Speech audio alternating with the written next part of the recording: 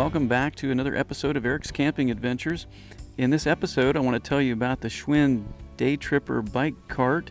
Now, this is not sponsored. I just found this item to be reasonably priced at 150 bucks and a great resource for camping. This video is about four minutes in length, and that is all it takes to put this together.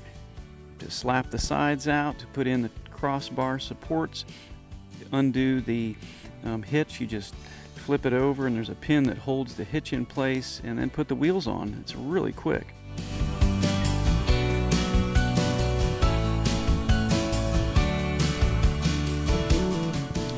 So we use the bike trailer for a few reasons. One, to haul trash to the bear-proof trash receptacle that was quite a distance from the campground.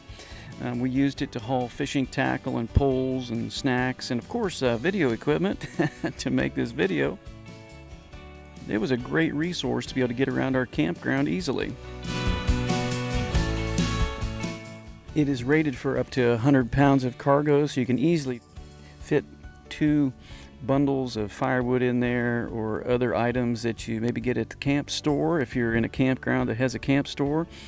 And um, it's a great way to haul your junk and be able to be just a little bit more active on a bike rather than maybe driving your car down to the concessionaire or to uh, the camp post to get your uh, firewood.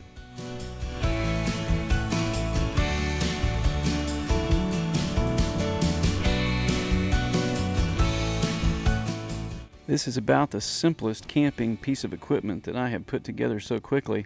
And even attaching it to your bike, I have a mountain bike and it has a quick release hub on the back that you just simply unlatch, um, unscrew, slide it through the small hole on the hitch of the trailer and then retighten it up and fasten your quick release um, latch again.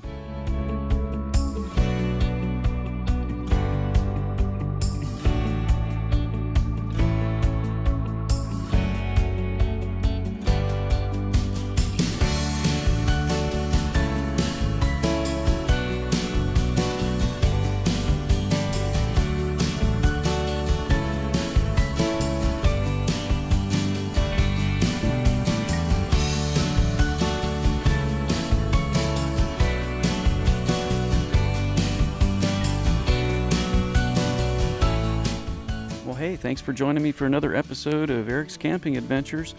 This little item, the Schwinn Day Tripper bike trailer, will probably be part of my future camping adventures